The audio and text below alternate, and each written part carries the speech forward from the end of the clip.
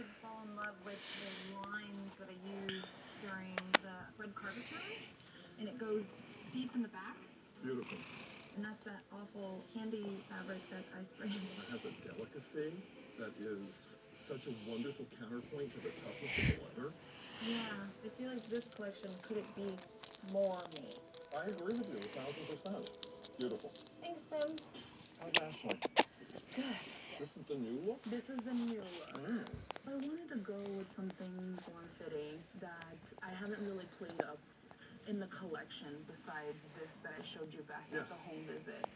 And I just wanted to show more variety in this collection and still go with the theme of Mexico City in the 1950s. Do you plan on showing a headdress on each model? Yeah, because that's the whole collection. Okay. But I'm a little bit scared that they might say don't use it when I'm like, This is my thought about yeah. it. You're so wedded to these Mhm. and they're so important to you. I don't want this to be a stubbornness issue where it's like, well,